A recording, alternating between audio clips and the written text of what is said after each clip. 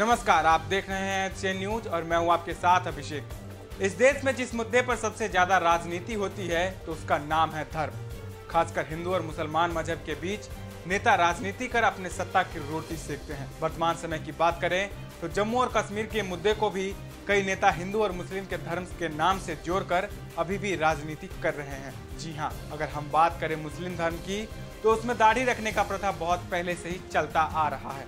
लेकिन आज जो खबर सामने आई है, उसने सबको हैरान कर दिया।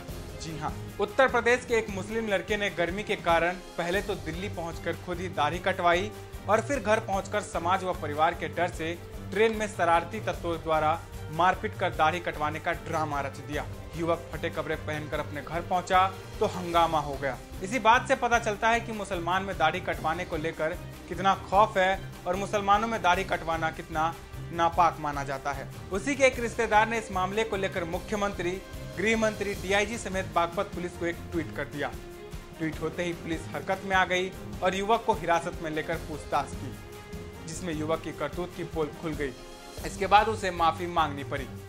दरअसल मामला मुगलपुरा मोहल्ला निवासी युवक मोहम्मद फारूक के बेटे मुन्ना का है। यह मुन्ना छाता बनाने का काम करता है। वह गुरुवार की सुबह अपने दोस्तों के पास दिल्ली गया था।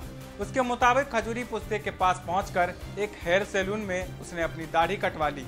रात करीब 10 बजे वह बागपत में अपने घर पहुँचा। समाज व परिवार के डर से उसने अपने घर वालों को बताया कि ट्रेन में शरारती तत्वों ने उसके साथ मारपीट की और उसकी दाढ़ी काट दी।